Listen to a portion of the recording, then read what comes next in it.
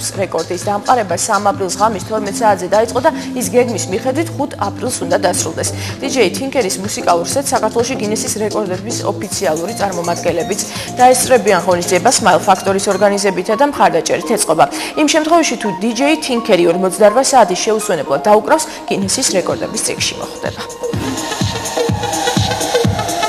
გადავწყვიტეთ ჩაგვეტანა პირველი გრანდიოზული პროექტი ამ DJ-ის თანხლებით მოგვეხსნა მსოფლიოს გინესის რეკორდი.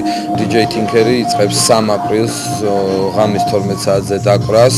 ეს საღამო გაგრძელდება ზუსტად 48 საათის მანძილზე და ზუსტად 5 აპრილს 12 საათზე რეკორდის ფინიში იქნება ოფიციალურად. ნუ იდეა გინესის რეკორდის დამყარების შესახებ გაჩნდა ჩემი მეგობრისგან, ერთ-ერთი მეგობრისგან და გადავწყვიტეთ რომ გაგვეხორციელებინა.